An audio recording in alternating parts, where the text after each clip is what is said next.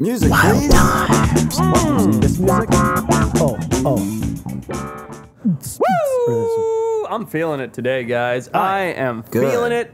It's the Wild Times episode. Who cares? Probably 100 at this point. I'm going to start saying numbers. day. Is it 90? numbers. It's like 150. It It's won good to remind us, remind us of how many weeks we've been at this shit. I love it.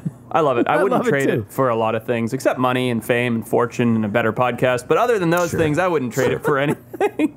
uh, this is the Wild Times podcast, the greatest show on the air. Recently, actually, just yesterday, we overtook Jay, Joe Rogan based on his Yes. uh, Yes. his prob- his problems with Spotify, which is great. It made us the number one podcast in the world. On our Patreon and nowhere else. Uh, but uh, I am your host, the broologist Forrest Galante. Joining me, as always, the very lovely Retep, the Ooh, I brofessor got a himself. real intro today. Yes, Yeah. thank you. How are you, sir? Uh, I look. It's it's funny because this light. I'm very pale, and the lighting that I have makes me look like powder. You guys seen the movie Powder? Oh, I yeah, I love saw it at the theater. very great emotional. Very Yeah, I emotional just movie. don't have his superpowers, but um, yeah, I'm doing great, fellas. Happy to see you. It's big, exciting things happening with the pod on the back end, and it's really, really getting my nipples hard. Love you, I like pig butts. and I cannot lie. Oh, I didn't see that part. There your you go. cameraman Neil, who wore uh, slippers to the jungle, got me this. sh- I miss Neil. We should have Neil on the pod. He Oh, won't have much God, to yes. say because he's been outside once and it was with us. But He's but like me. Yeah, all right, and the other host, the guy who thinks that he's in the Midwest in the world's worst snowstorm that's currently happening, but he's actually in Los Angeles where it's 74 degrees. Mr. Mm, mm. Patrick DeLuca, the producer. It's you, like sir? it's like 52 in the in the San Fernando Valley of Los it? Angeles. Yeah, a little nippy. yeah, and I can't bring myself to pay for you know heating the house all day. So Oh, I'm with you. This is this is my heater for those that aren't on the thing. I have a tiny, affordable space heater because I will not turn the heat on in the house. And if my wife touches the thermostat, we're gonna have to have a sit-down conversation about it. that's it. Yeah, it's over. Unacceptable behavior. Yeah, So, man. Excited It's for gonna be a this good one. pod. Yeah, Yeah. we have a very special guest joining us today, and I'm not going to say who it is yet, because for those brosners that are tagging along, let's be honest, most of our audience are into the wildlife space. They're into specifically, I would say, think? reptiles. And our guest today is arguably the biggest figure in sort of the reptile media space in the world, which is Can I- uh, it's pretty exciting. He did say Can I- figure. Well, can, can I? Yeah, just is figure. What's figure? Is that like a figure. candy bar? A figure, figure, figure. Is he from out of space? He's from out of space. I mean, look. yes, not only is he a big, he's big in the space, but he owns a giant reptile zoo. Right. I, I, you know, for everyone who like when we had Mason on, who works at a zoo, that was fun for me. He just works there. You this couldn't stop owns asking him questions. I thought that podcast was going to go on for seven hours. I'm like Patrick, just Yeah. it, he's he's told you what the monkey enclosure is like. Be There's quiet. nothing let him in. cooler than the behind the scenes of a zoo, man. It's it's really cool. I want to know more really about is. When I, growing up, um, sort of in between the gap of coming becoming a biologist and like coming to the realization that I wasn't going to run back to Africa at age 17 and become a safari guide, I figured my natural path was going to be working at a zoo. That's kind of Sure. what I thought. Like ages like 19 to 20-ish, 22-ish, I was like I'm going to work at a zoo. That's what I'll do with my life. And I've never had that opportunity. I've been to many zoos, you know, I've been behind the scenes in a couple, but I really know nothing about what the day-to-day at a zoo is like. I, so I obviously thought I wanted to be a zookeeper. Uh, obviously, I'm not. When you're a kid, you're not picturing that most of your day is shoveling up feces. Uh, Correct. Yeah, you don't realize that part. No, it's like, yeah, I'm just cuddling with tigers and pandas. Um, I was filming something a couple years ago. There's an amazing museum in Philadelphia that's an oddities museum. That's So cool. it's just all the weirdest shit in the world. It's it's incredible. I'm, I'm pulling up the name because I can't remember it. It's called the the Mütter Museum. It's oh, in Philly. It's amazing, by the way. It's just like like a, a taxidermied human who had a tumor that's the size of a watermelon. Like it's oh, Whoa. crazy shit. Whoa. That's That's like, cool shit. yeah, like medieval torture devices and all this weird stuff. But because we were filming there, we got to do like behind the scenes and go into the bowels of the museum and see where all the shit's being done. It was amazing. It was so I just I like wouldn't shut the fuck up. They were like, "Dude, we're supposed to be filming. Shut up. Stop talking to the museum guy." I love that about you, though, Pat. That's what makes you an interesting character. You like to, you're excited for the for things in life that normally bore the shit out of other people. So speaking speaking of things that people would find boring, I got the most text messages I've ever got from Patrick the past three days while he was at what was it, the Mineral and Oh, yeah. Fossil Show in Phoenix, Yeah. Arizona. I probably butchered Yeah, all that. Tucson. where were you? Tell us about it. I was at the Tucson Rock and Mineral Show. I went because like I have a rock collection.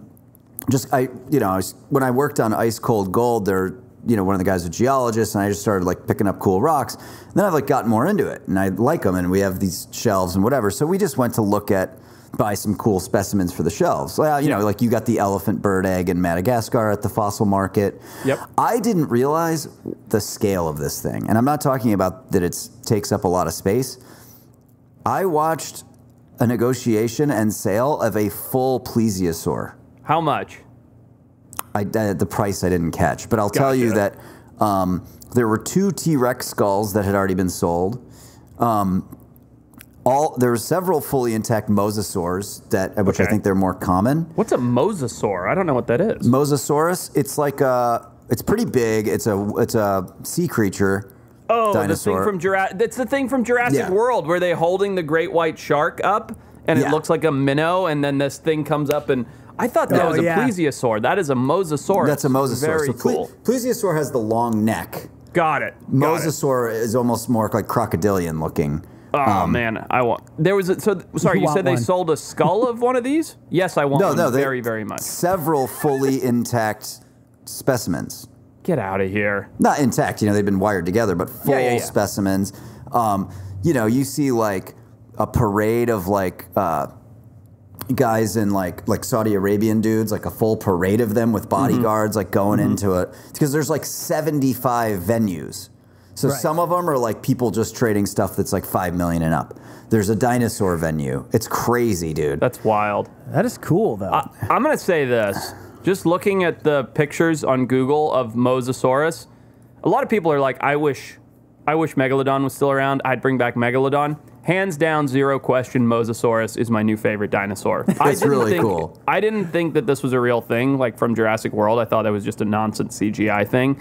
This is my favorite new dinosaur for sure. So, zero ju- question. just so you know, so for Jurassic World, they scaled, they made the Mosasaurus like six times bigger than it really is. It must be. Um, it's it's that's yeah. nonsense. It's like in the in the in the poster. I don't know if you've seen the poster they used with it in. The Yeah. kid's like standing by an aquarium wall, and the the great white shark looks like a guppy.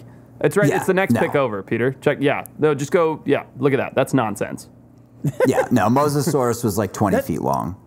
That's cool. a literal battle royale creation. That's not a real thing that existed. It is a hybrid between a crocodile and a shark. My two favorite animals, and I want it to be around now. Not to mention like the two the two animals that all they do is hunt. The two like the two most efficient predators in the world that their whole life is just like killing. Love But it. I'll tell you Love what's interesting because I was I was with Josh Feldman, friend of the show, and uh, his dad, who's Oh, nice. a, a big gem guy, owns a big gem shop in uh, in Arizona. And uh, it's funny. There's like a market for stuff, and things get hot and then they get cold, right? Interesting. So like right now, T- everything T Rex is off the hook. So like anything T Rex related is super hot right now. Megalodon is super hot. So like you know a, a megalodon like a big specimen, a big tooth this big, Yeah. is going for like five grand. Three years ago, it would have gone for five hundred bucks. no way. Yeah, it's it's just It's like, like, anything commodities. else. It's like Yeah. trading like gold or silver or something, where it goes up and down based on what's what's cool. The other thing I'd say for us is that because I was just looking for like cool, like awesome crystals and rocks and shit like that. Sure. There, there is a huge. I would say like a third of the Rock and Gem show is ma- is stuff from Madagascar. No way. I'm not surprised though, to be Yeah. honest. I mean, uh, and just to tell a, jo- a story at Patrick's expense, real quick. I think we've told this story on the podcast before.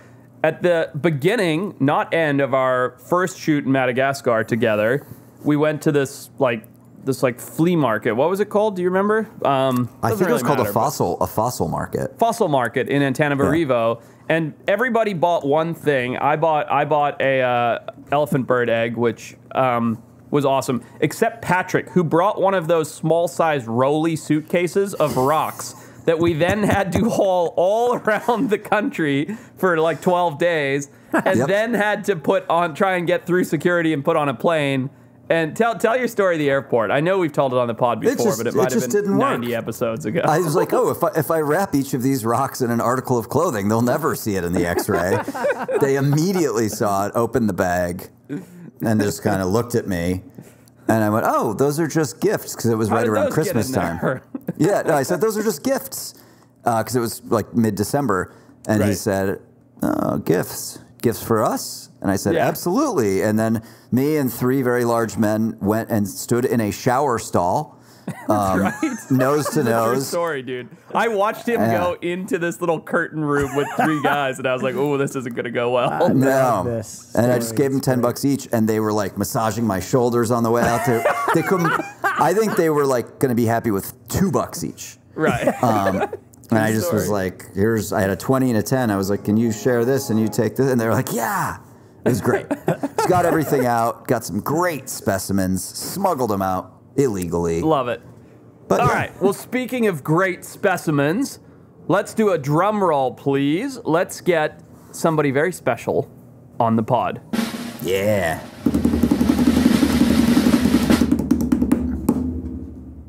Good timing. Good timing. Here he comes. Boom! There he is, Brian There he Barczyk, the Snake Bites TV. So, Brian, we just teased our, our audience, and we're like, we've got somebody very special coming. We're not going to say his name. He's the, he's got a zoo. He's like the biggest guy in the snake world on YouTube.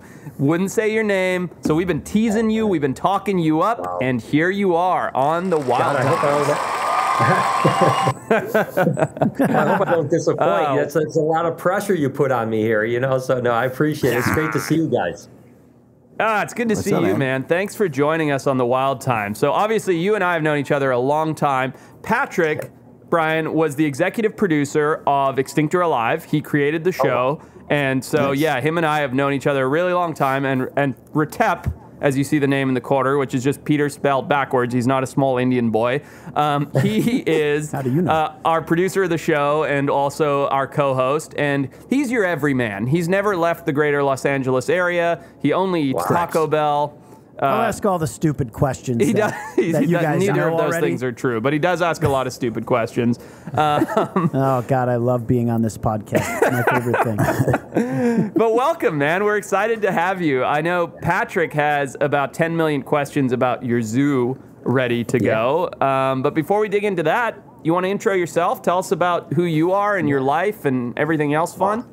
Yeah, I mean, obviously, my name is Brian Barczyk. I uh, been just kind of, you know, a reptile guy, really an animal guy more than anything, but uh, with a special affinity towards reptiles my whole life. I mean, that's all I've ever wanted to do. You know, I was two years old, uh, saw a ball python. Literally, I was two. I mean, I'm not kidding you. Two years old. My mom tells me um, that, and uh, I remember it like it was yesterday. I saw a ball python at a zoo and, and and I was hooked. That was it. That was it was the end. That was all I ever wanted to do. And growing up, uh, I, I I love dinosaurs, obviously. So I yeah I love Sure. you know dinosaurs and animals were my thing, and it's all I did my whole life. You know through school, you know, everyone thought I was a freak because all I did was want to play with animals. I, you know, during when I was younger, I, I just was in the woods constantly catching snakes. You know, we just have garter snakes up here in Michigan, but um, yeah, so so that turned into one thing after another. And as you know, as a wildlife biologist, it's it's a weird world, right? Like as far as you don't Very, start in one path. You go this way, then you go that way, then you go this way, and then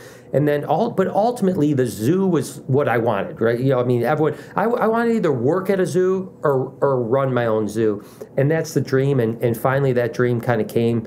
It was a long road, but that dream Yeah, finally came true. We opened up the Reptarium, and and uh, and and it's been it's you know listen when I, I started to work on opening up the Reptarium, uh, everyone told me I was an idiot for opening up in Michigan. They're like, do it in L.A., do it in Florida, do it in Sure. Texas, New Sure. York, and. Um, what I and, and, and listen, I, I didn't know. Maybe I was an- was an idiot for doing it. I had no idea. But I was like, no, this is where I'm from. Even though I've spent a ton of time out in SoCal and a ton of time in Florida and all over the world, for that matter, um, this is where my home is. This is where my family is, and and we did it. And the one thing that I guess I didn't even realize is that the advantage of doing it here was there's no competition. There's nothing else like it. You know, in California, yeah. you guys got all kinds of cool stuff. Florida, there's a million wildlife things. Texas, there's a million wildlife things. And uh, and so Michigan just worked out really well. And from the day we opened up, it just was a huge hit. You know, and it blew me away. great. I mean, blew me away. It's like we, we sell tickets in advance. Wow. Uh, and uh, and and we're, we're sold out every single every time we're open. You know, we're No That's sold out. amazing. way. That's Well, so- incredible. How does okay? So let's say I, I'm like, oh, I want to be a TV producer because I'm bored living in upstate New York. All right, I'll get in the car, move to LA, and just hang out around then, just trying to figure that out. How do opening a zoo is not like how do you go from not having a zoo to having a having a fully zoo. operational zoo packed full of question. amazing animals? Well, you know, the good news was I had been, you know, keeping animals a lot of crazy stuff. So a lot of the animals, not all, but probably about 70% of the animals that we you know, filled the zoo up with, you know, we're, I already had, you know, so that, that helped me a lot. And that was, I mean, you know, I, I tell people all the time, like to do it well takes a lot of money, right? yeah. You know, that's the thing. You know, you know, you can open up, and I didn't want it. I never wanted to do it halfway. You know, I wanted the enclosures to feel. I not only wanted the enclosures to feel naturalistic, but I wanted the envi- I wanted. I always say like I wanted to mix reptile zoo meets rainforest cafe. Mm-hmm. You know, Yeah. so when you walk That's through the door, such a cool you're in visual, by the way. Reptile Zoo. So I I moved to America It's- when I was 14, and I don't I don't mean to kill your story, but my favorite place to go when I was 14 years old was the rainforest cafe because it was like an Yeah. experience while you were eating your French fries, right? Yeah, And so to have exactly. like snakes crawling out of that while you're eating your French fries and around your neck is like the coolest idea ever. Yeah. Yeah, and, and that's what it was about, you know. I, and listen, really, the, the idea was to build a place that I wanted to go to when I was a kid. Period. And that's what Yeah, we're doing now. We're, we're actually in the process right now. We're we're in the you know past approval process in the pre-construction phase of a four million dollar expansion. Wow. Uh, and, and and we're adding an aquarium to to to the zoo as well. And um and, and it's it's scary as heck. I'm not going to lie. It str- stresses me out every minute of every day that I'm I'm going to spend all my money. But uh, but I don't care about the money. You know, to me the money means nothing. It's building a dream and and so again, I loved fish and I still love fish. So I want to build the next iteration of what I wanted to do when I was a kid. And actually, ironically enough, one of the expansion parts is what we're, we're calling it the Utica dig site because we're in Utica, Michigan, right outside of Detroit, and uh, it's going to be a place where you can like dig for fossils. Cool. And, Nice. and That's stuff awesome. like that, you know, and, and because I'm I'm building all these things that I wanted to do as a kid, and still at my age, still want to do, you know, and so Right. uh, so how do you do it? Uh, number one, you got to be a little crazy. You got to work a lot. You've got to put a lot on the line. You've got to uh, have a, enough money to, to be stupid about spending, and and, uh, Yeah. and then just hope for the best. You know. Yeah. That's so exciting, man. That's so cool. I mean, you are living the dream. I, I remember telling Patrick when we first started shooting the show, I mean, he said to me, he was like, you know, if this show's a huge success and you can do this for 10 years and make a bunch of money, what would you do next? And I said to Patrick, I'd start a little zoo and aquarium, you know, like an endangered species zoo and aquarium that did, you know, good at good animal outreach and did a bunch of conservation work for reintroduction. And I'm nowhere near that goal. I mean, you are living the dream of all of us wildlife nerd guys. I mean, that's so cool. No, I, I. I- oh, sorry. Go ahead. It's true. Go ahead. I'm. Go ahead. Go ahead. No, so I was just going to ask, like, obviously, like, you have this huge zoo happening, and you also have this huge online presence. Again, I'm the layman, so bear with me.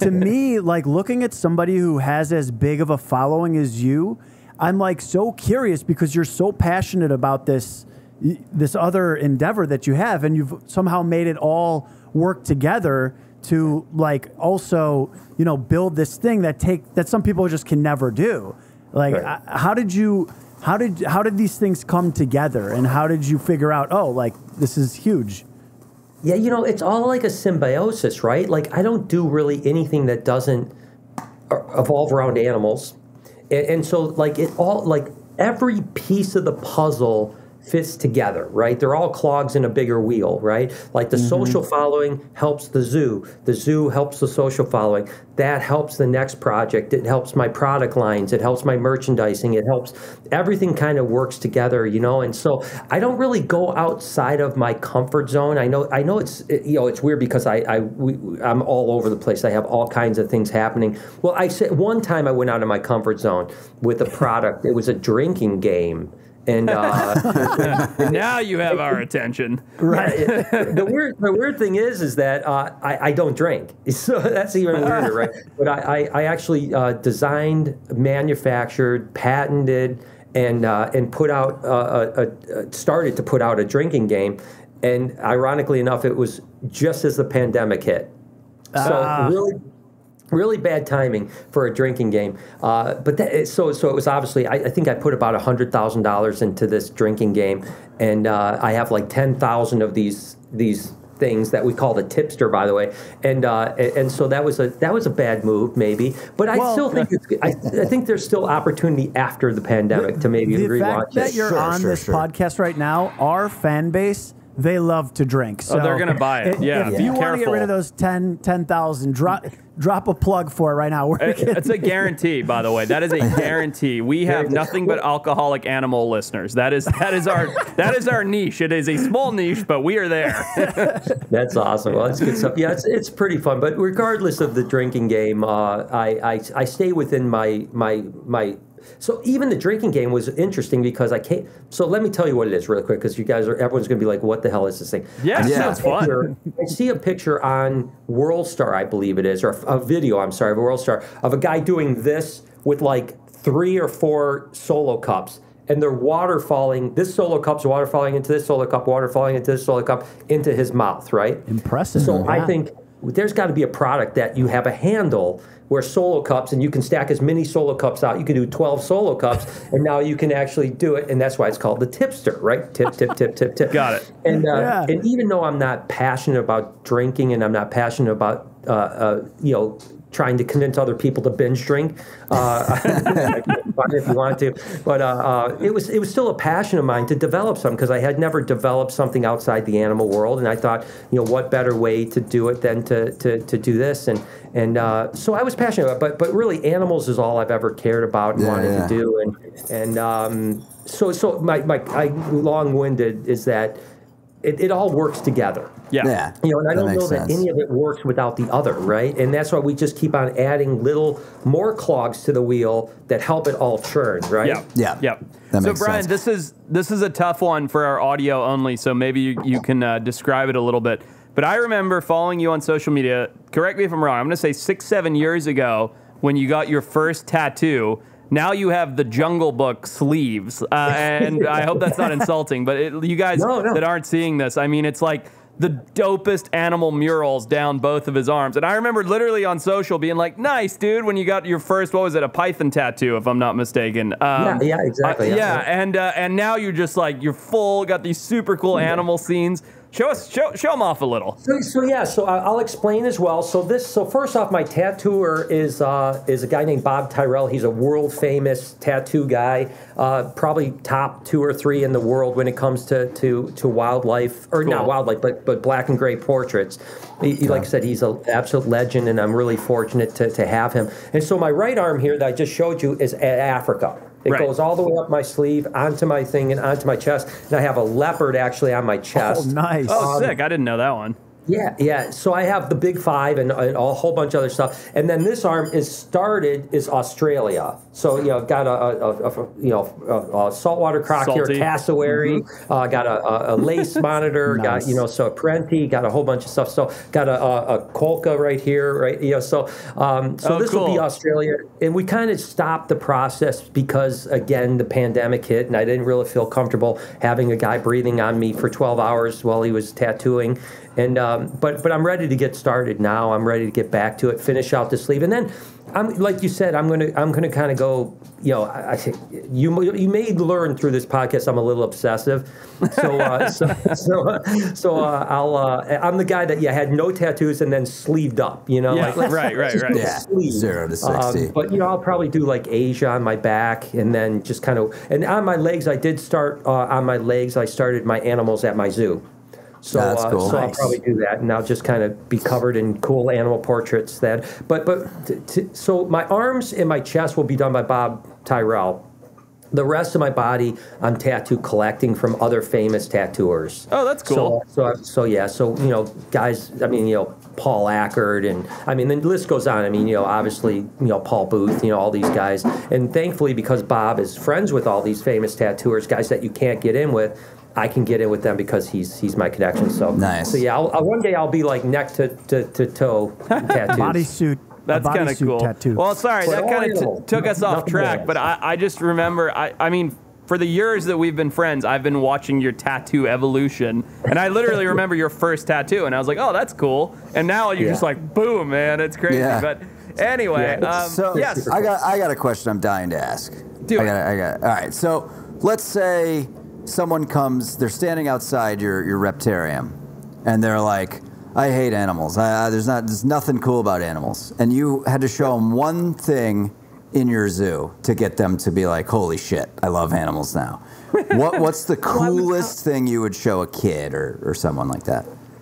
So it's a, it's a great question, you know, and I, I think it, you know, I would probably, so I only have two mammals at my place, although we're adding, obviously, you know, fish with the aquarium, and we are adding small clawed river otters uh, with this next expansion too, so we'll have three sets. But I think I would stick reptile because that's what, you know, I, I I really love, as a matter of fact, at, at my place, the thing I love the most is we, every weekend we do get people that come in that are like maybe their kids really passionate and loves reptiles but they hate them and they'll walk through the door and tell me like I, I do not like reptiles don't get me and i always say two things. I always say i'm going to do this at your pace so i'm not going to throw anything on you. I'm not going to make you hold anything but i'm going to probably bet 90% by the time you leave this place you're going to hold a snake. Mm-hmm. And they'll be like nope ain't going to happen 99% of the time it happens because I always call it the Jones effect. So, with that being said, I would probably stick with reptile and I'd probably even maybe stick snake, to be honest with you. And there's two snakes in particular that usually break people in my place. Can we The guess? that- Can we guess? Go for it. Okay. Peter, you don't even know what a snake is, but you, you go first. Taipan.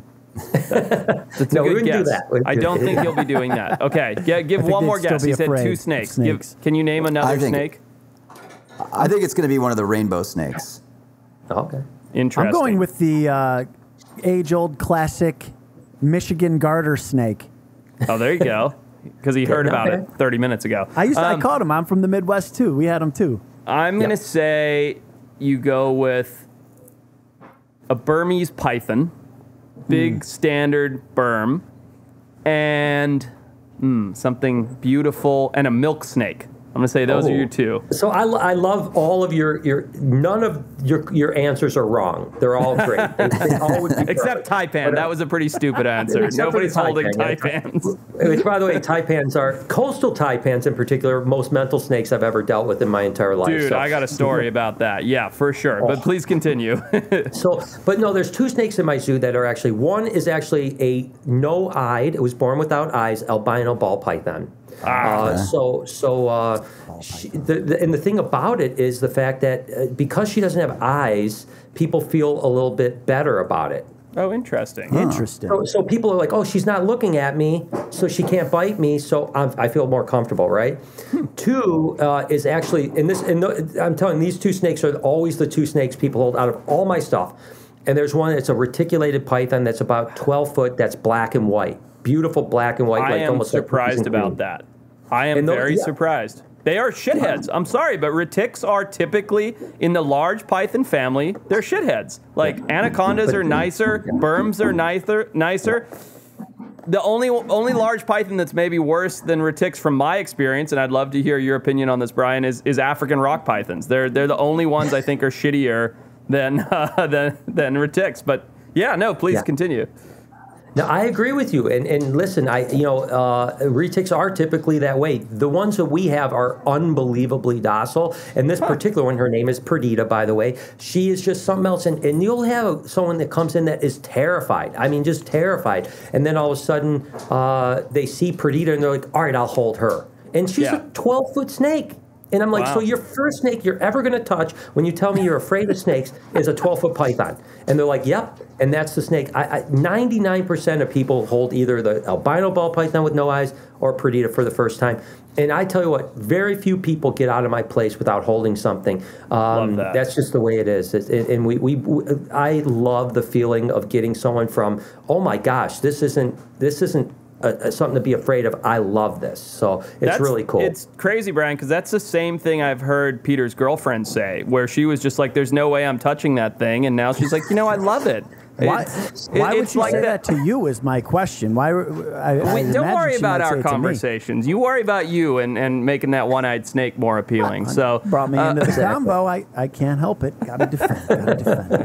I love it. I love it. that's She cool. my Keep you- blind snake, by the way, I just wanna say. forest. Yes, no, that's that's very smart. Uh, that's cool, Brian. That's I find that really interesting that you're able to break through those barriers with such unusual animals, especially the Yeah. eyeless ball python. I think that's Yeah. that never would have occurred to me in a million years. Ball python, sure, but the fact that the the eyes thing makes a difference, I find that really really interesting. It really does. It's like people are like, "Oh, she can't see me, so she's not going to bite me, so I'll hold this one." It's it's again, it's a it's a wild thing. She's one of my most popular animals by far, and uh, uh, yeah. But but I, it, other than that, the other the one animal that is really crazy. I'm sure that you've seen them and messed with them in the past.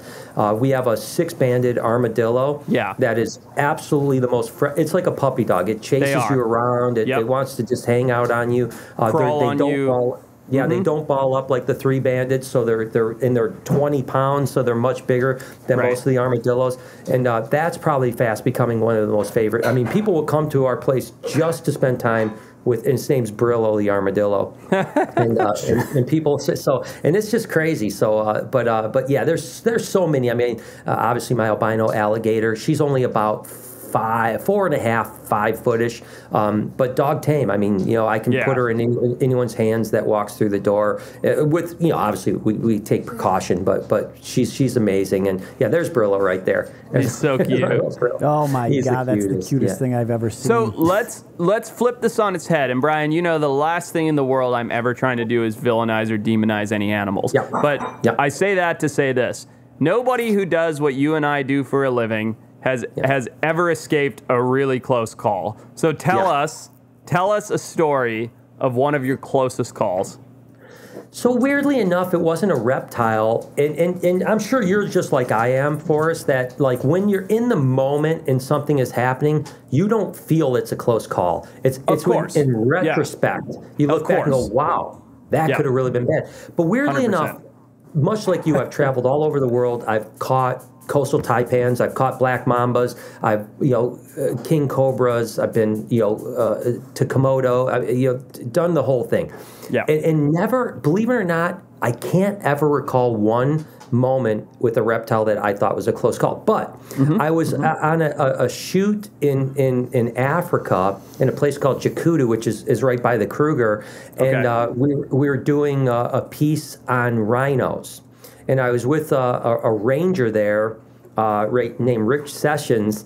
And, and he was a great guy, by the way.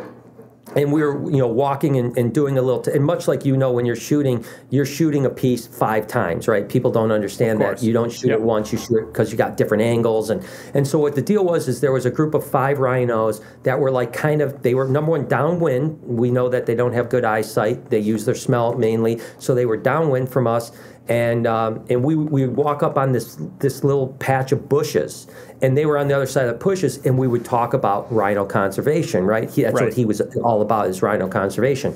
Sure. And um, and so we, the fifth time we did this from the last angle, and it was going to be a drone shot this time, is um, the rhinos came out from behind the bush. Like they came Uh-huh. towards us, and this is a pretty open field. I mean, we got probably hundred yards of just you know some bush and straight land, right?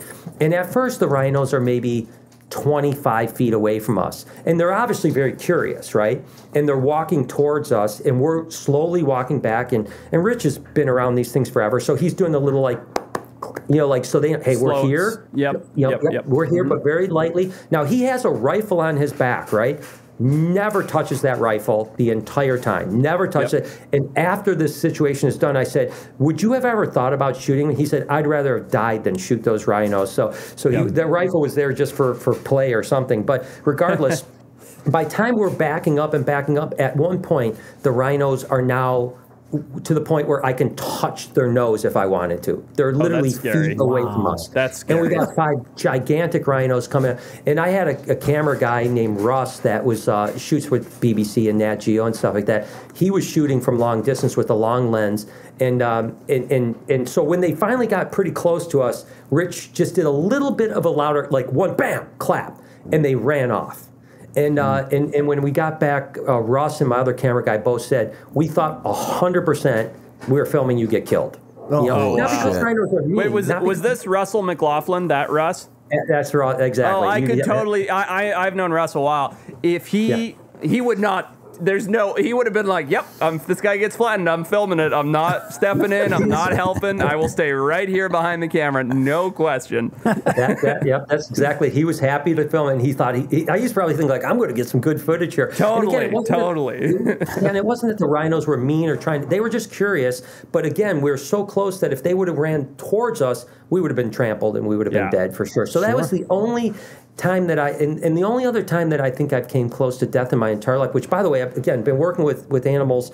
Uh, for 35 years, and, and I've never even been to knock on wood. I haven't been to the hospital one time ever. Oh, wow. You know, for Wow. anything. And, Forrest, and we you shot, learn you know, we shot Discovery Channel. We shot Venom Hunters, which I was Yep. traveling Africa and Australia, catching the most deadly snakes on the planet, and I never came close. Never been bit by a venomous snake. Never been hurt. Never stitches. Never anything. Um, the, so the so the, the rhino was look in retrospect during the time I thought it was amazing. I was like, this is awesome. They're getting closer to me. This is great. Um, and I wasn't even thinking about the footage. I was just thinking about the experience. Experience, totally. Sure. Yep. And then the only other time I came close to getting killed was actually by a person in Africa. But that's a whole nother story we won't get into. But, I've been there, uh, man. They're way. I say this all the time. I say it on the show. I say it on the podcast. That is the biggest variable and the most dangerous thing. It's always the people. It's never the animals. A hundred Never the percent. animal. Yep. Yeah, so Hundred that's it. percent. Oh, somebody's animal. Is that yours, Brian? Yeah. What's that's, he yeah, saying? that's my, my dog. I've got a, a German Shepherd and a Great Dane, and my wife is trying to keep him in check a little bit here. I, I was I, I, I could have done it for my office back at the shop, but uh, All I good, decided man. to come home. Hey, this is an animal podcast. If we didn't have a couple dogs barking, my guinea fowl are usually outside of my office causing a ruckus, and I have to go on mute like at least once a podcast to make sure that it doesn't sound like the African savannah in here. So no I love, problem. yeah, love getting. How many, uh, amazing. Brian, how many employees do you have at the uh, zoo? Uh, roughly. I think we're up. To, I think we're up. Yeah, it's a good. I got to say roughly because I never really quite know. I think we're up to about 17 people now uh, that work for us. Uh, three of them are are, are full time animal educators. So all they do is you know educational shows, uh, and then there's um, uh, keepers and and uh, social media people and Sure. and uh, all that other stuff. Run so I me think we have- through- I think we're at. I think we're at 17. 17 Sorry? run me through the what is the because every kid like when I, I i went i had three halloweens a row because the outfit still fit me where i went as a zookeeper what is the run me through the Retep, you got nothing. Hold on, hold on. Retep, you got no jab at him being meager, with the fact that for three Halloweens in a row, his zookeeper outfit fit him. Well, I mean, it, it doesn't need to be said. Everybody knows It at goes this without point. saying. Okay, copy. run me through the day to day they clock in what are they doing your entry level zookeeper not your not your best guy or girl but your your you know it's their first week on the job what does a zookeeper do So yeah, we have different different levels. You know, we obviously have guys that work with. Uh, uh, so so you know, we have people that work with a little bit more sketchy stuff. You know, that are have been with me for years. Um, you know, if someone walks through the door, they're probably doing. They're probably doing the most mundane things, quite honestly, like the, the you know cleaning poop. They're uh, cleaning glass. Uh, Yeah. They're maybe chopping lettuce and, and veggies for the, the, the herbivores. Um, they're probably not getting, I, you know, I don't think many people that, when we start, a keeper probably for the first few months isn't doing much with with the actual hands-on animal stuff. You know, we really have to, and even then, it takes you know probably a year before I would let them touch something that I felt was was dangerous. And then and then we also have really strict policies about with the animals, you know, large pythons and large monitors and, and crocodilians that. Um, you have to have two people at all time. You know, like there's never one person dealing with them without someone right there with them. So, but yeah, in the beginning, it's a, you know, listen, it's it's glor it's a glorified poop cleaning job, really, right? you know, you're just cleaning a lot of poop every day, and you're feeding. And, you know, the feeding part's fun. I mean, the feeding part's a fun thing, but but the the poop cleaning way outweighs anything else you're going to do as a zookeeper. Yep. That is what we were talking about earlier. Yeah, Uh, exactly. Do you have crocodile monitors? I do. Yeah, And? yeah. They're scared. Yo, they scare the hell out of me, Brian. I'm not scared of a lot of wildlife, but and I love monitors. By the way, varanids are like very near the top of my list. Every country I go to, I try and catch all the varanids I can. Just Yeah. even though it's just like fiddling with them for the sake of fiddling with them, I just love dealing with varanids. Crocodile monitors scare the hell out of me. Peter, while he's telling us about them, They're could you mind pulling looking. up Wow. a picture of their jaws or their mouth so people can understand these animals? But Sure. Brian, yeah, and- and- please. And Peter, if you can find a, maybe even after you find a picture, see if you can find the picture. There's a picture out there of a skull between a uh, Komodo dragon and a crocodile monitor. The Oh, skull. interesting. And, and people will see the difference of how they think a Komodo dragon is so dangerous. Right. And you, when you see the difference of teeth with a crocodile monitor to a Komodo dragon, ridiculous. Yeah. Uh, and I agree with you. I always say, Forrest, when people come in, I say the most dangerous animal I have in this place is my crocodile monitor. No way. I'm glad to hear that I'm not the only one that feels that way. I say it all the time. Now, now ours, we just have one. Uh, it's a male, and he's pretty Uh-huh. big, uh, and, and he's he's chilling out pretty good. When we got him, he was a year old, captive hatched uh, from Indonesia, and Mm-hmm. it, it was it well, it was in the country for a year. It came in as a baby, and it was very very aggressive. I mean, Yeah. Mm-hmm. I should say defensive, very defensive. Would bite like, and you you you know did not want to get bit. I mean, it's, you get bit by a crocodile monitor, you're going to the hospital every, Every time. Every time. Every time. And There's I no have, by the way, because they look a lot like uh, what's the spotted varanid that's in the same range as them? Um, uh, I'm blanking on it. The mangroves, or, or which one? Which one? Might be. I, I, Varanus, uh, is it Salvador? No, Salvador is crocodile Oh yeah, so yeah, so the water monitors, yeah. The water monitors. Anyway, I've chased these things around like Borneo and a few other places, and then got right up to them and be like, "No, I'm too scared. I'm too scared. I'm too scared," because they're just like so gnarly. They're so fearsome. But anyway, yeah. I mean, sorry. They're- please they're continue. rapid. Yeah, they're raptors. I mean, they are literally they're they're one of I think the most smart and reactive monitor lizard in the world, um, and and they have the teeth to back it that are absolutely ridiculous. And uh, again, some people say they're the largest monitor lizard in the world. Even though Komodos are certainly the heaviest body, but there's rumors of, of crocodile monitors with their long tail, again, not nearly as heavy bodied as a Komodo, but there's there's rumors of, of 12 foot specimens. And we know that there's at least 10 foot specimens that have been in captivity of crocodile monitors. And we know that Komodos get about 10 foot. So it's, it's, Yeah. a, it's a debate whether Komodos or crocodile monitors are the longest lizard in the world because of that long, long tail that, that the crocodile monitors have. No doubt that Komodo dragons are the largest as far as body and, and stuff like that and head size and so like that. But croc monitors are no joke. Now, thankfully, we've worked with this croc monitor for a few years now and have got it to the point where we can take it out and, and it won't bite us. Uh, but but only me and the my monitor guy. I have a guy that specializes in monitors that works with our stuff, and and we we target train all of our monitor lizards, and uh, only he and, and myself are able to go in that enclosure. So Wow. if someone else, say say that young keeper that Patrick was asking about week two is like, oh, I know animals, and he decides to let himself into the croc monitor's enclosure, what's going to happen? Walk us through how. What's your croc monitor's name? Uh, it's Baby Cush because uh, the guy that, that raised it was named Stephen Cush. Got it. Not so because, not because of the weed Kush. sure, sure, sure. So what would Baby Kush do if a if a foreigner came into his enclosure? You know, I, I think to be honest, I think that he wouldn't. He would probably be very. Oh, here we go. Some teeth. Yeah, things you can see. Um, Crazy. uh, he would. He would. I don't think he would bite them, but he would definitely. They're very standoffish. Probably whip them with his tail uh, for sure, and, and and be very huffy and puffy because it's a very untrusting animal.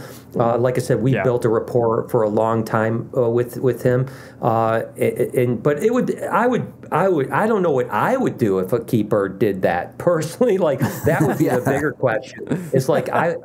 I, I don't you know I mean I have to have unbelievable trust with my my keepers uh, because they they care for I, I mean these animals aren't just exhibits these animals are my pets they're my uh, love of my life every animal I'll give you an example. You talked about water monitors, which, by the way, I chase water monitors, not crocodile monitors, but water monitors around uh, outside of Jakarta uh, once, and, and I spent the In the, entire and, and, and can we just sorry? Can I just interrupt you for one second? When pe- when you make that statement, the brosners that don't know what we're talking about, they're imagining this beautiful jungle and these water monitors in these crystal clear streams. And I know this because I've chased them around Jakarta myself. You are in literal sewer drainages where that are open air, full of like feces and Yep. and like Yuck. discarded bottles and plastic bags, and then here sits this gorgeous six foot long water monitor, and you're like, well, the only way I'm catching him is to get knee deep in some yuck yuck. And uh, am I not right, Brian? Is is that You- not how you, you caught just- yours? we must have caught him in the same spot because that's what my, you know, but actually I shouldn't say caught him because I didn't catch him. I actually chased. There was about six adults, you know, five six footers, and I chased them around for. I'd say a good four hours. You know, I chase one, Wow. it jump in the water, I go after it, disappear. I would chase another one, get in the water, it would disappear. And I never. I think one time I got a hand on a tail, and then They're it tough. disappeared. So They're they really are very very tough but but um but they're they're they're amazing but uh but we so we, we target train all ours so that they kind of take away that that that food drive that they have and the scare drive and i always say you know, the way to work a reptile the best is is is when you they're not afraid of you and you're not afraid of them you know that's that's what you got to get this this relationship where they have zero fear of you that's why croc monitors are much more reactive and even our baby kush is um uh it's still reactive. You know, he still doesn't like when we when we open the enclosure, even if it's me or Bruce.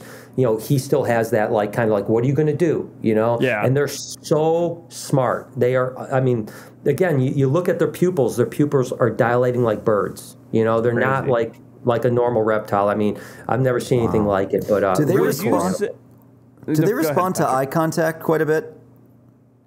Yeah, there's no doubt about it. Yeah, hundred percent. You know, if it, it's you know, you, you you know, again, we do eye contact. As a matter of fact, it's funny because uh, I, I I am I train my alligators a certain way, which is exactly the opposite way of you should train it. And, and a, a, a really good crocodilian guy told me one time, you know, if you do something wrong, uh, train an animal wrong. Just make sure you always train it wrong instead Right. of changing. it. So Right, right, just right, consistency right. is That's how I learned how to sing. Yeah, and play guitar. You're good at it. Yeah. That's, that's, that's your song. Uh, but uh, uh, but Off so I'll do like this thing where I look at my alligators like they have to keep eye contact on me, and that's how I keep them calm, which is the exact opposite of what most crocodilian people. And that's because I didn't know. I thought this is the way you train an alligator or a crocodile. Um, so so yeah. So I think eye contact can definitely be something that can either go for you or go against you, depending on how much time and training you put into it.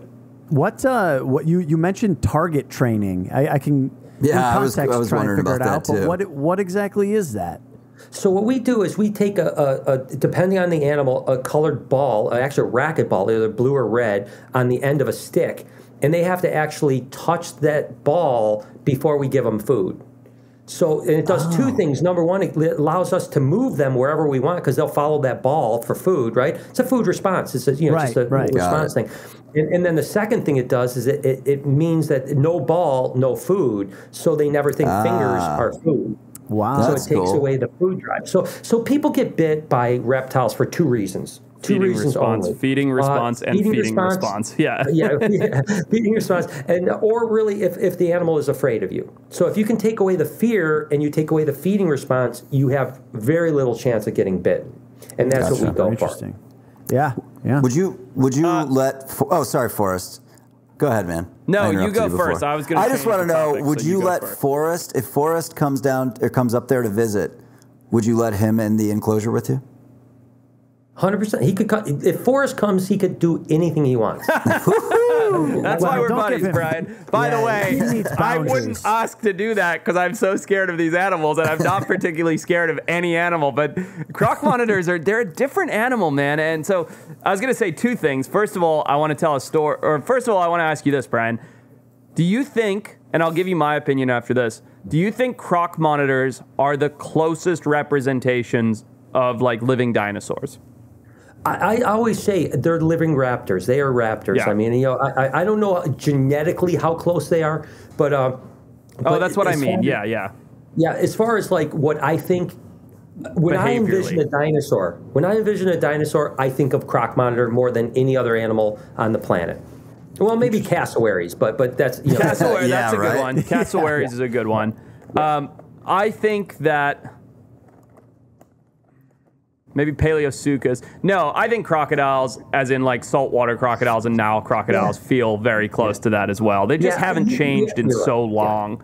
Um, yeah. Yeah, Anyway, you're right about that too. That you're 100 percent right. but I think croc monitors are, like you said, they're like raptors. By the way, it's like you see a crocodile in a pond, you're like, I'm fine, right? He's over there, he's in a pond. You're like up in a canopy with a croc monitor, you're in trouble. They call them they call them tree dragons over there. I That's what they know, I know, them. it's crazy. Yeah, it's and they're yeah. uh, they're in Papua, which is a place we talk about a lot, PNG and West Papua, because of our thylacine um, interest. But anyway, Yeah. so I want to tell you a story, and I want to get your take on it. So I'm Mm-hmm. buddies with the head reptile keeper at the Santa Barbara Zoo, where I live. Right, it's a beautiful facility. Santa Barbara is not a very big zoo, not a very big place, but great, beautiful facility. And he has prehensile-tailed skinks. Um, And he his statement so a lot of people, for context, for everybody listening, say that prehensile skinks are basically not trainable. They're too stupid, or they just don't respond well. Whatever, call it what you like. And I'd like to hear your take on that, Brian. Now, my buddy at the Santa Barbara Zoo, who I won't name in case he doesn't like the way I frame the story, um, he has a different idea, which is that they do not respond to food based training. They respond to something else. And he says that they are incredibly clever, contrary to what a lot of people say. And what he has figured out, and I've seen him do this in person, so I know it's real, is he gives positive reinforcement through behavioral enrichment that is direct contact with the sun. And it's absolutely amazing. So when I was with him, he's like, let me show you this thing. So he goes to their enclosure. He offers them some food. Nothing. They don't budge. They're not interested. They, they look at him like he's a jerk and they go back to snoozing, right? Then he puts down the food, goes and grabs a little tiny harness, like a little varanid harness, and holds it up and both of the prehensile tailed skinks come and line up. And he literally holds it up like a little sweater, and each one puts its leg through the loop. I swear to God, I am not joking. He buckles it on them, puts the little leash on, and puts his hand out, and they come out. He walks. We live in Santa Barbara. It's sunny every single day. He walks outside of the, the reptarium, which is like 10 feet, and holds them in the sun and they sit there like my dog does on a warm day on the driveway with his belly to the sun and it's this like expression of pure joy on their face and he does that for like five or ten minutes and then takes him back inside and they literally go back inside begrudgingly lift each leg out of the harness and go back to their spots and he's just like i've cracked a code that nobody knows about which is that you absolutely can train prehensile tailed skinks. They're just not food motivated. They're motivated by another type of positive reinforcement. And in this case, it's going and lounging in the sun. And he's like, I need to like publish a paper or like scream this to the mountaintops. And I'm like, dude, there's like four people that are interested in this. But still, um, it, it's, it's fascinating that he has totally, and I've seen it with my own eyes, he's cracked this code on these prehensile tailed skinks that to me says they are so much smarter than we give them credit for because they do want something. They do want something in return for a behavioral, um, you know, for a display of behavior. It's just not food. They're not motivated by diet. They're, and, and as reptiles, by the way, that makes sense, right? Like, not all rep- reptiles don't need to eat a whole lot. A lot of them, some of them do, but a lot of them don't need to eat a whole lot. So, why be motivated by food if you're like, yeah, I can go three months without a meal? Like, you, you're offering me the same thing you offered me yesterday at noon for doing nothing. Um, why would I go for this? And I don't know. I found it really, really interesting. So I want to hear your your thoughts on that. You, I've never even owned one. I mean, I've held like three in my life. I don't know those animals well. What do you think about that? Well, I think it's amazing. I mean, I think I think he, please film that because that would be Seriously. the most incredible thing I've ever seen. And I don't disagree. The one thing I always say is that with all reptiles, that they are way, way, way more intelligent than people give them credit. And we've proved that with our place, the training that we've done with the animals. I mean, people come to our place, even reptile people come, and they're blown away at the things that we do. They're like, I've never seen anything like that in my life, you know? And I'm like, that's because we approach them more like you would approach training a porpoise or something on that lines, um, as opposed to like saying are dumb and so like that. So as far as our monkey tail skinks, uh, they, they're a very interesting animal. They come from the Solomon Islands. There's uh, they, they, they live in communal uh, groups, so they, they mate for life and they bond for life. And then what happens in this communal group, you might have five or six pair of, of, of monkey tail skinks. And, um, and and by the way, I, I heard the story about the guy that that uh, uh, named them monkey tail skinks. It was it was a wholesaler. Do you remember? I don't know if you remember L.A. Reptile way long time ago. It was a big reptile importer. Was it? back Did, in the that, did that have 70s, anything to do with Jay Brewer, or was that independent No, of Jay? that wasn't Jay. It was uh, Okay. it was uh, uh, um, uh, I can't remember. It, Chris was can't remember his last name. Chris was the, the owner, and Gotcha. regardless, in the seventies, days they were the one of the biggest reptile wholesalers in the country. And Okay. what was happening was they were bringing in Solomon Island skinks or prehensile tail skinks.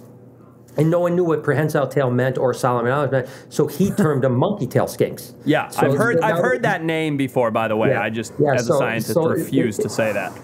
exactly. So prehensile tail skinks are what they are supposed to be called, but the, the hobby calls them monkey tail skinks, which is, is just Right. the, the slang term that a guy in LA made up. But anyways, Right. um, so what's interesting is that they they mate for life. They stay in this hierarchy group. They only have one baby every other year, on occasion twins. And, uh, and and what's interesting is that when they have that baby, the baby stays with them for about a year, and the entire group protects the baby, even if it's not That's their amazing. offspring. And then at Wow. about a year old, they kick them out of the group, and they have to go start their own group. So it's it's it's so my point is they have to be intelligent, you know, Yeah. right? Yeah, Uh, that's it- super you're right, the complex behavior. started. Yeah. Right. But but it's so so they're they're I love love love prehensile tail skinks um and, and they're and the ones we have are super super dope but uh, uh but yeah we haven't been able to target train them so that makes sense maybe I need to in the sun we might have a problem here in Michigan Well, that's the problem, isn't it? But uh, Yeah. try it, man. I, I I don't know. You know, I don't know much about those animals. I actually didn't know that that was how they raise their young. I mean, that is Yeah. that is like a social structure that's It is. sort of unheard of in, in reptiles. And isn't that amazing that they do something like that? I mean, some it's just amazing. crocodilians are probably the closest thing to that. You know, I Right, think with nest crocodilians brooding and- mm-hmm. exactly. You know, which is really interesting. But uh, but yeah, I find that they're one of my more uh, I, I beloved reptiles for sure. Well, really, scientifically, the smartest uh, reptiles are the reptilians that come from the Centurion galaxy. Isn't that Oh accurate? boy, you are a dummy. Um, That's true. so, That's- Brian- I'm, I'm a believer. Me too. See, Brian, that's right. But Pa- Peter and Patrick, I'm pretty sure I can definitely speak for Peter. I don't know about Patrick. They're convinced, by the way, that a- that octopus are aliens. They came on a comet from out of space. See, I see mean, what I, I, think did there? there's some I science there? behind Yeah. that. I think there's some There science. is, behind there that. is, There is. There's Yeah. substantial science behind it, and that's why these guys are completely convinced. What are your thoughts on that? you know, I, I, I don't, you know, I think that panspermia can certainly be something that happens, you know, and, and, and I think that um, uh, the fact that there's no other animal that has DNA that's anything like octopus on the planet makes you wonder did it literally evolve from a completely separate entity here on Right. this planet, or was it placed here uh, through panspermia or maybe alien? I don't know. I, I'm, I'm a believer. I think it's definitely alien for sure. yeah, I So love cool. it. I love it. So cool. There's one of the videos on your the team. channel that I liked, uh, Brian. What made you decide that you were going to take an albino alligator to PetSmart? These are the You know- these are the big questions. Yeah, he. she wanted an outfit for Halloween was Understood. coming. She told me Got it. she wanted an outfit, and I had no choice. I mean, where else? I, I was looking for the alligator costume aisle, and by the way, PetSmart doesn't have one. Uh, but, uh, but no, Smart. What? It, it was What? Yeah. PetSmart, get your shit together. I know what the heck. you know. No, it was one of those things that again, every now and then we do something that is, um, you know, uh, that shows people that these reptiles are more than just cold-blooded non-thinking animals. And and so if you're going to take your dog to PetSmart, why can't I take my alligator PetSmart? Right. And and, and, and, and we did. By the way, for the record, we did contact them before. Asked them if their permission. Uh, they they they accepted our our. our We're like, our you have how many subs on YouTube? Three, three point three million. Yeah, yeah. Come on by. Come for sure. well, weirdly enough, weirdly enough, the, the, the hierarchy at PetSmart wasn't that happy about it. But uh, but the manager of the local pet shop, PetSmart, was fine. could she see comes that. into the reptarium. Uh, but but as a matter of fact, she she told me after I did that video that. They didn't take grief, I wouldn't say, but they did say that we had to be more careful uh, with approving certain things. So I can't take an alligator back, but I did take my armadillo back there uh, Nice. uh, at you a go. later date. So so they're you great at the, the local PetSmart, and uh, I try to support uh, you know local pet shops, and and uh, even though PetSmart is a is a corporate thing, it's also locally run, and so so. Uh, but but most of, most of the, the, the, the things we buy honestly are from mom and pop shops in the area, to be honest with you. But they just don't have as many customers, so it's not as fun to take stuff to them. Right. sure. All right, I want to play a game. Oh, you got you got something, Peter? Before we play, No, I, I had a game say, in mind. eh, Like, I feel like people who are working at pet shops, regardless of which one, they're passionate about animals because it's not Yeah. like, you know, it's not a job that you're. It's not like, oh, I'm going to work at McDonald's or the pet store, whichever one gives me a job first. So, I- I remember going into uh, Petco, which is the one that we have in Santa Barbara, and picking up live mice to feed my rosy boas because um, they've they've only ever taken lives. And uh, I grabbed them. Uh, they put them in the little box that they always put them in, and I put them in the uh, like grocery bag, right? Like just you know the old plastic grocery bag that they used to hand out and still do in some places. And I like started walking out of there, kind of swinging it, you know, not twirling it, but just sort of loosely swinging it around like you do groceries. You know, mm-hmm. and the, the guy that sold me the mice that were going to be eaten by my snakes ran over, snatched the bag out of my hand, and is like, Sir!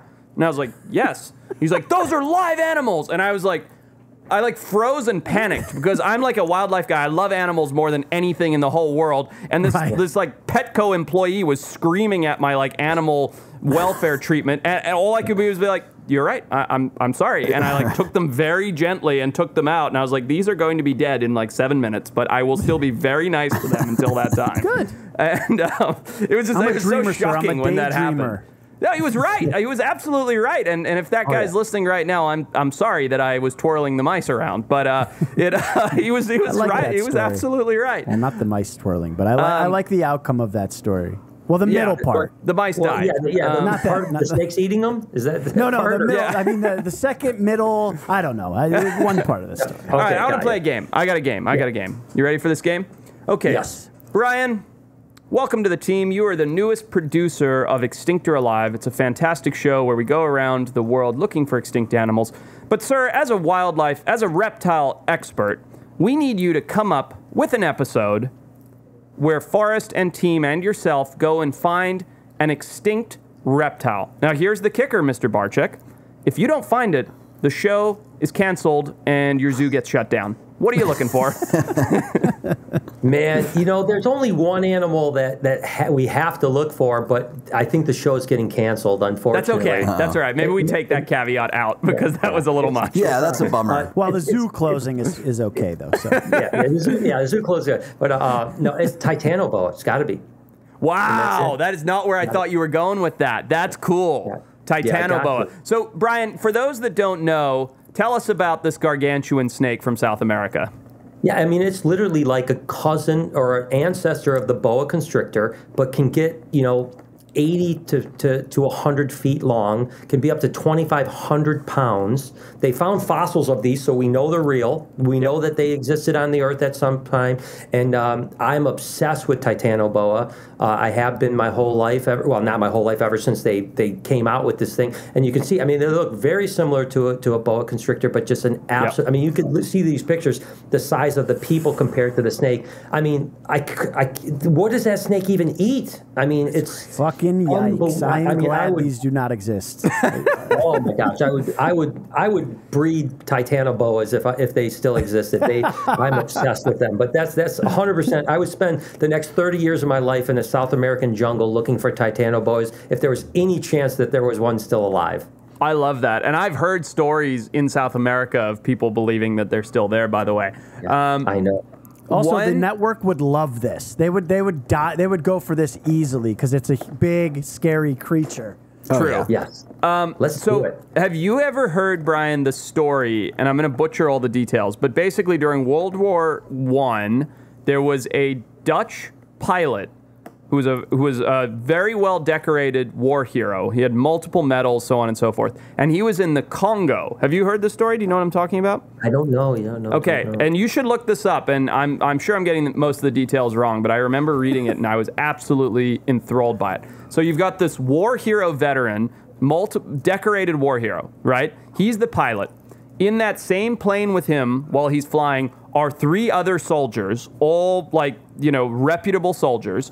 They have zero reason to lie or make any of this up. And as they're flying around over the Congo, they spot something down below and it's a big coiled something or other. And the, the pilot, the decorated hero, just says, "Let's go in and take a closer look. This looks very foreign in this weird Congolese jungle." And they fly down and they report not just the decorated war hero, but all three other soldiers that were on the plane report a 50 foot long snake that str- that when they took low passes over this clearing in the jungle struck at the plane and they all say swear to god that they saw the snake. They all have independent reports of it. They all say it was 50 to 70 feet long you know, based on their best assessment. They didn't see it and leave. They took like seven or eight passes over this snake to, to, to see it because they couldn't believe their eyes and they knew no such thing existed before they left, and, they left it sitting there still coiled and striking in defensive mode. And on the first pass, every single one of them reports that this thing actually struck at the plane. And uh, Crazy. it's like very well documented. It's like it's like uh, there were military documents that show these people reporting this. This colonel's outright. He's like, I have no reason to lie. You know, I'm a war hero. Blah blah blah blah. All three of the soldiers on the plane reported it, all independently, and they all said there is a 50 foot snake right here in this jungle. We all saw it. Why is nobody believing us or listening to us? Wow. That's True crazy. story. And listen, Isn't that you- you know, amazing? you've been to a lot of exotic places. I certainly have been too. You know, um, it, it, I- there's they're out there, man. They're out there. You there's, think so, There's, huh? there's, you know, you know. You guys have found stuff that was extinct. I mean, come on. Right. You know, I mean, you you're just one team. You know, I mean, th- th- with the amount of rainforest, even though depleting uh, here in, in the Congo, obviously amazing. Even the Pacific Northwest of the United States, uh, the things that are probably never, you know, I mean, just dense, dense in the forests or jungles. There's got to be, and I mean, remember Lolong, the the the uh, Yeah. the, the Yeah. saltwater crocodile. Yep. Yeah, I mean, that- you know, that was a tragic story, by the way. That thing lived probably 150 years in the wild and then died a month in captivity, um, sure. which was a shame. But I mean, that was a, a, a gargantuan crocodile that was found in the wild that, that the, the, the natives have been reporting for like 100 years that it was there, but no one could ever catch it. Right. So right, I think right, right. Um, I, I do believe that in deep in the forest there is a, a 50 foot. Well, okay. So first off, you probably know about the Teddy Roosevelt, you know, reward for a 50 foot snake. Uh-huh. Have you ever heard of Yep. this? Fi- So $50,000.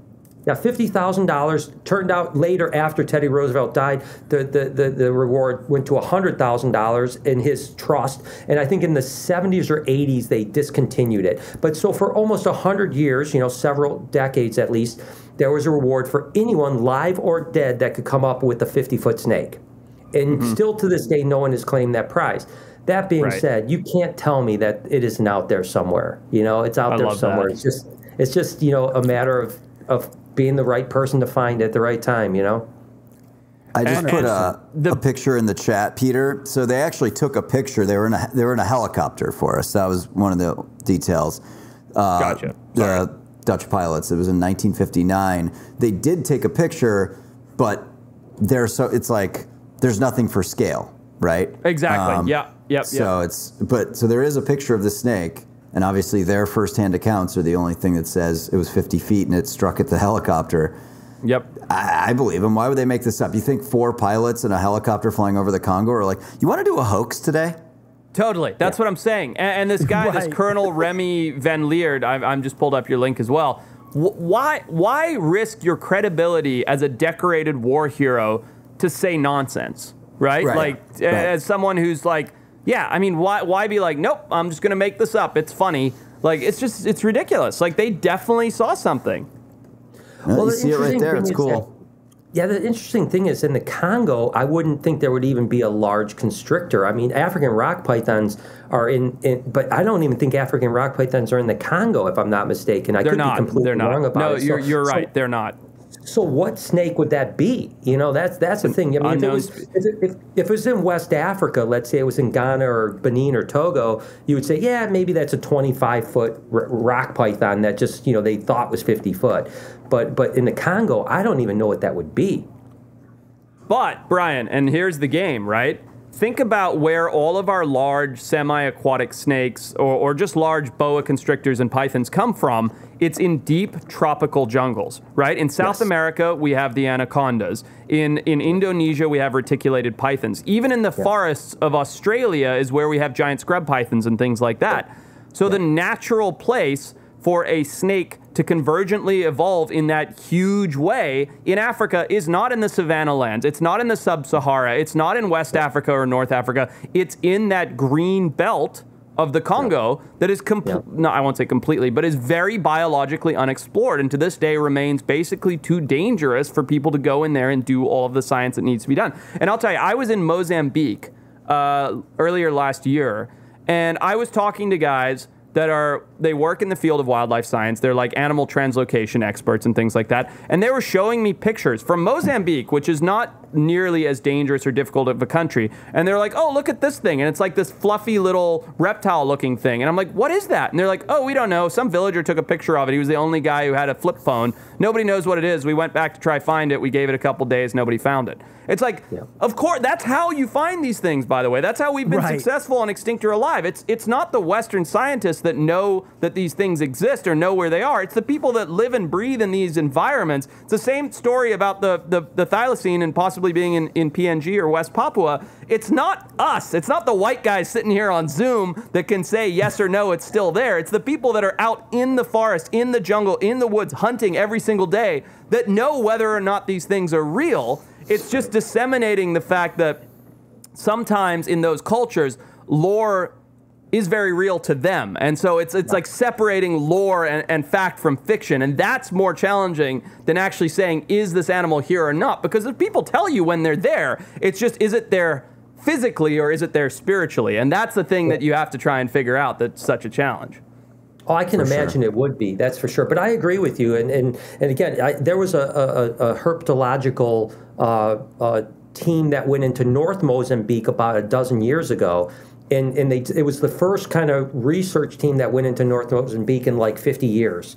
And they discovered like 15 new species of reptiles. Not and, and- and surprised. the, and Not the at all. expedition was only like a two week expedition. So And by the way, Mozambique, there are resorts all over Mozambique. Like they're not resorts like we think of, like go to Cabo San Lucas, but there are like very cute little dive lodges up and down the entire coast of Mozambique that services tourists from South Africa and Europe.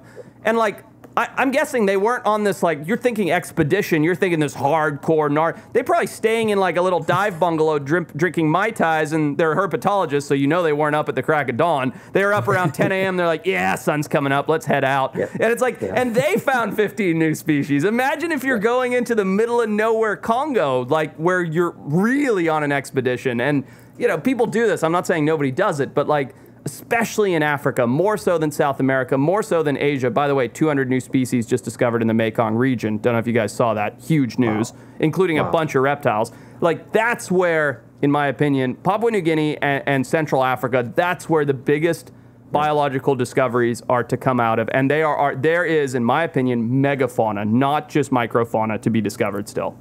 Well, yeah. I mean, what was it like? I mean, it was what in the it was in the '90s or whenever it was. You probably know that the, the there was a great ape that was found in Vietnam.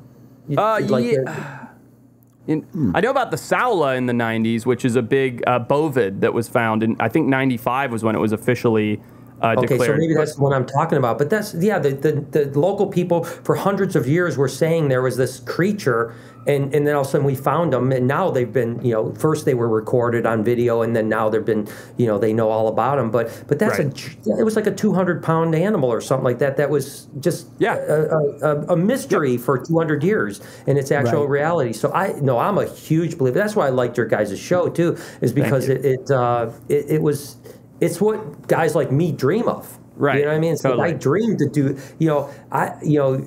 I, I would love nothing else to spend my life looking around, and I know you're a thylacine maniac, you know, and, and I know one day you'll find that damn thing. I guarantee you will. I'm gonna And keep it's gonna- trying. That's for sure. Oh, I Hey. think you will. You know, I, I think it'll be it. I love that you feel that way. So, can I can I announce something to our brosners? Something that all four of us know that nobody else knows? No one else knows, so let's do it. Ladies and gentlemen, brosners of all shapes, sizes, and colors, Brian is putting together another harebrained, incredible wildlife thing, and this is a big announcement. It is an animal con. It's going to be like the biggest convention for animal nerds from around the world. And guess what, ladies and gentlemen? The Wild Times podcast crew, Peter, Patrick, and myself are going to be going to WildCon. Yes, and we encourage the Brosners have been asking. They've been saying, "Where can we meet you guys? Where can we learn about animals with you guys from the podcast? Where can we come and see you?" And we are going to be at Brian's Animal Con. Brian, tell us about it. Yeah, so yeah, so we're doing it the 26th, 27th, 28th of uh, August in Orlando. Uh, there's going to be um, uh, all the, you know, basically any animal personality you can think of from, you know, from TV, uh, Instagram, YouTube, TikTok. Uh, we, we, we've just, this has been a brainchild of mine, much like the, the drinking game. Um, bad, bad timing, uh, you know, at the beginning of the pandemic, I was thinking about this, and it's the worst time to put on a, a, a convention, so it's been shelved. But now that we feel like we're getting into a good spot in life, we think we're going to be behind us this summer. We decided to move forward with it, and uh, so it is. Uh, think about the Comic Con type of thing, but for animal people, and uh, so So cool. it's going to have. Yeah, just tons of really great. So there'll be, like you said, there'll be panels with you guys on it, talking about your adventures around the world. There'll be Q and A's. There'll be fan meetups. There'll be uh, all kinds of events that can happen that are just like you said for. Pe- Like people like me when I was 17 or 18 would have loved to go see, uh, you know, all those animal people on TV at the time. You know, what I mean, whether it was Attenborough or or Steve Irwin or, or whoever the case was at the time. You know, if, if I could have went to a place and, and met them, and now there are hundreds of those people. They're not just a dozen of them. There's hundreds Right. of these people. You know, Right. from from reptiles to fish to to, to bugs to, to you name it. You know, I mean, Yep. any animal personality, and and we're, we you know we're so so pleased and, and blessed that you guys are going to come out there, and and it's in a beautiful resort uh, in Orlando. It's called the Caribe Royale. We'll be launching the site. It'll be called animalconusa.com. Launching in about two to three weeks. Uh, so Perfect. we're putting that together. Um, you know, just keep an eye on any social. I'm sure you'll announce it when we do it as well. Absolutely. And um, and, and, and then yeah, yeah. I mean, it's gonna it's it's been a dream of mine, and, and my my outcome of this, everything I do in life, whether it's my reptarium, whether it's this project, whether it's YouTube, whether it's Instagram, whatever, is about reaching people with the love of animals. Period. That's all that I care about, right? And this is a Love way that. that we can gr- get 10,000 people together that are passionate and can share and collaborate and start meeting people. And and who knows what relationships are going to be built who built. And who knows what 10 year old is going to walk through that door and meet you guys and be the next extinct or alive 20 years from now you know? And and, that's and, that's that's why i'm doing it and that's why i'm excited and uh and so far uh, we're super, super uh, pumped on, on on the commitments that we've had. Uh, we've already got uh, with the group, and, and I've just really started. I mean, you guys were were one of the first people, first handful of people I asked. So so I've Thank just you. gotten started, but we already have over seventy commitments from from influencers and creators uh, from across uh, the animal world uh, to the tune of about 150 min- million combined outreach. Wow. Uh, so- and, and we've just gotten started. We've just gotten started, Right. and uh, and we have some some pretty major sponsors we'll be announcing over the next couple weeks as well on the on the thing. So the event should be a pretty big hit, and um, and hopefully we can just continue to inspire that you know this generation and the next generation that if we aren't fighting for wildlife, uh, we're screwed. You know, so that's what this is about. Love That's awesome, that. man. That's gonna be fun. We will, and for anybody listening, if you guys don't know this, depending on where you're listening, we have a Patreon, we have a YouTube, we have all the social media channels. We're going to do everything we can to, to push this for you, Brian. We're going to make sure that our brosners, our listeners, can come there and meet us in person and come and to the Animal Con and not just meet us, but meet everybody. All these people that we're discussing that can come and share their love of knowledge. So, brosners, you've been asking about uh, where to meet us, where to hang out. This is it. Animal Con USA, baby, Orlando, Florida. Let's go. Com. And so Nice. thank you guys, man. It means the world to me. You guys are going to be amazing, and we're going to treat you like uh, royalty. I can guarantee you that. Beautiful. I like the sound Dude, of that. thank you so much, Brian, for inviting us. Pure, you know, first of all, and also uh, thanks for coming on the show, man. I think the the Yeah, man. Brosners are going to love this. Where can, uh, in case they don't know where to find you, where do they find you? I mean, literally, if you just type Brian Snake Guy, Brian Animal Guy, Brian Barczyk, Brian, you'll find me. You know, I'm, uh, you know it's, it's, it's, it's pretty uh, pretty pretty easy to find, and He's the and, guy. um, yeah, it's just you know, it's it's. I appreciate anyone following me on any level. I mean, I can't do the things that I do now without the people that follow me, and I'm so uh, so absolutely blessed to have friends like you guys now, and and. Uh, and, and, and to be in this community, so uh, so yeah, so uh, you know, welcome along on the journey. It's a wild one. Wild time. Wild times. Congrats, Brian, man. thanks Yeah. for coming on the show. Really appreciate it. Well, guys, it's been a good one. That I learned a shitload. Uh, That was awesome. It has, Forrest. I've never, I haven't seen you that excited in in many moons, my friend. I About love your energy. Oh, Pat. I just like Brian. He's a cool guy. He is. he's a great guy. Love you, Pat. Uh, Thanks, man. You guys, yeah, you guys uh, head over to the wildtimes.com forward slash info for all the links. Wild time at Wild Times Pod on all the socials to follow us, and of course, I, I hung up some merch. There's my uh, spirit animal shirt over there now in the background. Yeah. That's still available. We never talk about it. It's there. It's always there. true. We never talk about it. Uh, and of course, the Patreon at Wild Times Pod, patreon.com forward slash Wild Times Pod. Jesus. Uh, what are I- you, I know, drunk, it's- mate? it's- it- oh, uh, he I is. wish. He's a mess. But uh, love you guys. yeah. Animal Con, Animal Con. We're going to a convention. yeah. I just looked at the resort. nibble. Looks nice. There's a fun pool.